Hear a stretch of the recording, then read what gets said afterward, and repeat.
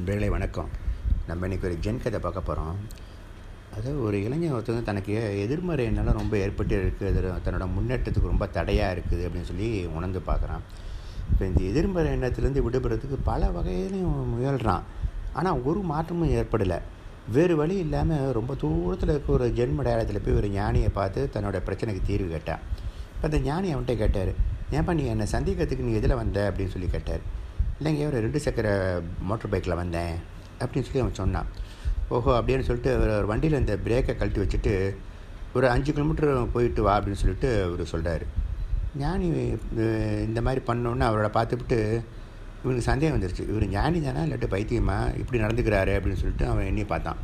சரி வேறு வழி தெரியலாமல் அவர் சொன்னதை செய்கிற சூழ்நிலைக்கு வந்ததுனால இந்த பிரேக் இல்லாத வண்டியை எடுத்துக்கிட்டு ரொம்பவும் மித நிதானமாக ஓட்டிக்கிட்டு போகிறான் நிதானமாக ஓட்டியும் பிரேக் இல்லாதனால ஒரு குழியில் விழுந்துட்டு அப்படியே ரொம்ப மெதுவாக எழுந்திரிச்சு இப்படி ஞானியோட இருப்பிடத்துக்கு திருப்பி வரத்துக்கு கிட்டத்தட்ட ஒரு மணி நேரத்துக்கு மேலே ஆகிப்போச்சு பைக்கை நிறுத்துறதுல படாத பாடுபட்டு நிறுத்தினான் அவன். இப்போ ஞானி அவன்கிட்ட என்னப்பா அஞ்சு கிலோமீட்டர் போயிட்டு வரதுக்கு இவ்வளோ நேரமாக ஆச்சு உனக்கு? பைக் பயணம்லாம் எப்படி இருந்தது ரொம்ப சுகமாக இருந்துச்சா? அப்படின்னு சொல்லி கேட்டார். இல்லைங்க சாமி ரொம்ப சிரமப்பட்டு போயிட்டேன். நீங்கள் பிரேக்கை வேறு கழட்டி வச்சுப்பிட்டீங்க. பிரேக் இருந்திருந்தால் அஞ்சு கிலோமீட்டர் தூரத்தை சும்மா ஒரு அஞ்சு நிமிஷம் பத்து நிமிஷத்துக்குள்ளே போயிட்டு வந்திருப்பேன். இப்போ ஒரு மணி நேரம் ஆனது கூட பரவாயில்ல. எப்படியோ என்ன நிகழுமோ எங்கே விழுந்துருவனோ அப்படின்னு சொல்லிட்டு பிரேக் இல்லாமல் எங்கே விழுந்துருன்னு சொல்லி பயந்துக்கிட்டே தான் ஓட்டிக்கிட்டு இருந்தேன் நான் அப்படின்னு சொல்லி அவன் சொன்னான்.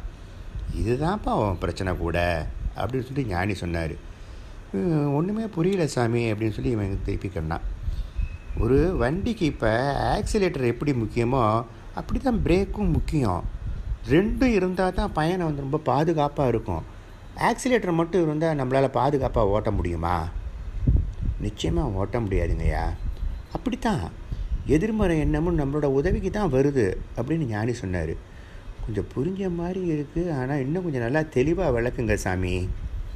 இங்கே பாருப்பா வாழ்க்கைங்கிற பயணத்தை வந்து இந்த மனசுங்கிற வண்டியை வச்சு தான் நீ ஓட்டி ஆகணும். அப்படி ஓட்டுறதுக்கு இந்த நேர்மன மறை எண்ணம் அப்படிங்கிற ஆக்சிலேட்டரும் வேணும். எதிர்மறை எண்ணங்கிற இந்த பிரேக்கும் வேணும். தேவையான இடத்துல தேவையானதை பயன்படுத்திக்கிட்டு இந்த வாழ்க்கைங்கிற பயணத்தை பாதுகாப்பாகவும் இனிமையாகவும் நீ பயணம் செய்ய வேண்டியதுதான் அப்படின்னு சொல்லி இந்த ஞானி சொல்கிறாரு சாமி நீங்கள் சொல்கிறது ரொம்ப நல்லா புரியுது.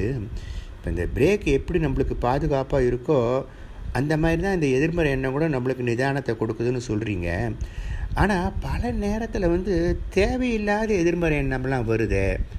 ஒரு இடத்துல எந்த பிரச்சனையும் இல்லைன்னு தெரியுது. இருந்தாலும் எதனாச்சும் தவறு நடந்துடுமோ அப்படின்னு சொல்லி பயம் வருது. இதனால என்னோடய முன்னேற்றம் தானே பாதிக்குது. இதுக்கு நான் என்ன செய்கிறதுங்க சாமி? இங்கே பாருப்பா. வண்டியில் வந்து எப்போவுமே பிரேக்கும் ஆக்சிலேட்டரும் இருந்துக்கிட்டு தான் இருக்கும். ரோடு ஃப்ரீயாக இருந்துச்சுன்னா நீ பிரேக் பிடிக்கணும்னு அவசியம் கிடையாது. வண்டியில் பிரேக் இருக்குது அப்படிங்கிறதுக்காக நீ அதை பிடிச்சிக்கிட்டே இருக்கணும்னு அவசியம் கிடையாது. தேவைப்படுறப்ப மட்டும் பிடிச்சா போதும். எதிர்மறை எண்ணும் அப்படி தானா சாமி? ஆமாம்ப்பா. இப்போ வண்டியில் பிரேக்கும் ஆக்சிடென்ட்டும் இருந்தால் தான் அது வண்- முழுசான வண்டி. அது மாதிரி எல்லா எண்ணங்களும் உணர்வுகளும் வந்து போனால் தான் அது ஒரு ஆரோக்கியமான மனசுனே நம்ம சொல்லலாம். எதிர்மறை எண்ணங்களும் தேவைன்னாக்க நிதானமாக செயல்படுறதுக்கு பிரேக் மாதிரி நம்ம அதை பயன்படுத்திக்கலாம். தேவையில்லைன்னா விட்டுவிட்டால் போதும். அதை பிடுங்கி போடணுன்னு அவசியமே கிடையாது.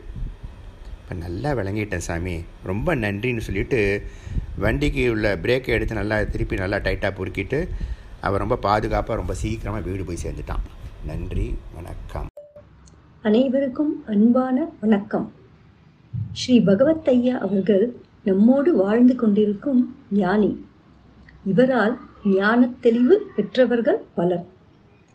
ஒவ்வொரு மாதமும் வெளிவந்து கொண்டிருக்கும் பகவத் பாதை மாத இதழ் மாதந்தோறும் ஞானத் தெளிவு தரும் ஐயாவின் கட்டுரை அன்றாடம் எதிர்கொள்ளும் பிரச்சனைகளுக்கான கேள்வி பதில் ஞானத்தை எளிதாக புரிய வைக்கும் ஜென் கதை என அனைத்தையும் தாங்கி வந்து கொண்டிருக்கிறது. பகவத் பாதை தற்போது ஒளிபாதையாக திருச்சி குழந்தை நல மருத்துவர் டாக்டர் முத்துக்குமார் அவர்களின் உரையில் வெளியிட்டுள்ளோம். மேலும் ஸ்ரீ பகவத் மிஷனிலிருந்து சத்சங்கங்கள் ஞான முகாம்கள் நடைபெறுகின்றன. மேலும் விவரங்களுக்கு தொடர்பு கொள்ள